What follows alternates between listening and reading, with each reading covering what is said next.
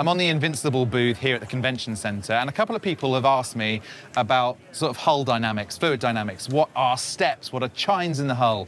Why do you have all the different bow shapes? So I thought, last day of the show, we'll do some little educational one-on-ones. So we have uh, a 39 Invincible. This is a Michael Peters hull.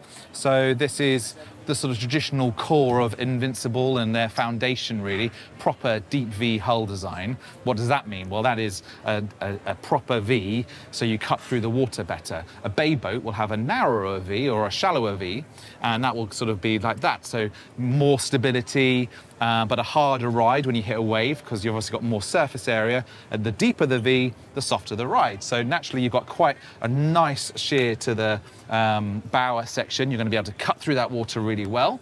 But then you also have these chines. What do the chines do? Well, obviously, water comes up, runs across the hull, hits this lip here, and is pushed back down. So the greater this distance, the more lift that you have but you also want to have a nicely balanced boat. So there's a lot of geometry that goes on to make sure this performs well. We have these two shapes in the side profile of the hull.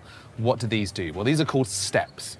So as the water is running down through here, you have air that is drawn down through this channel, and that releases or gives the hull air bubbles and reduces friction as you go. But Jack, if you come up through here, you'll see the hull profile as you come through is then stepped back a couple of inches and then the chines then start again. This is reducing the wetted surface of the boat. So what do I mean by that? A deep V traditional planing hull will have the sort of, if this was the hull length, your water line as you're running would be sort of further up here. The more steps you have, the more you're able to reduce that wetted surface further back through the transom, have better fuel efficiency, more speed, less drag. So we have another step. So this was one step up, two inches off from the bow section, and now we've got a nice deep step all the way through, and then now we're going to be running to what is traditionally called your planing pad. This is where now the hull is going to be sitting, and then when we come right to the back, you have this bustle on the aft section. So your true transom is the aft section right at the back there. These are interceptor type blades. Um, and what they do is are constantly making little um, changes so that they're running the boat and trimming her for you, like uh, automatic trim tabs, basically. But then this section has an overhang where the engines go, and you can see you have the water pickup here on the Mercury lower unit. So the water will run straight off from the bottom of the boat and then hit the gear cases. Normally, once you're planing up around about here, getting loads of cooling into the motors.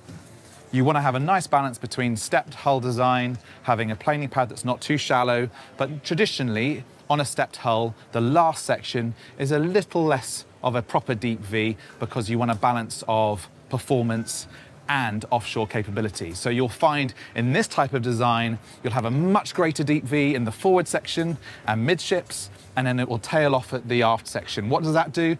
Well, you have all of that punch to be able to cut through any wave that you want to, but then you have that balance of economy and speed once you get going.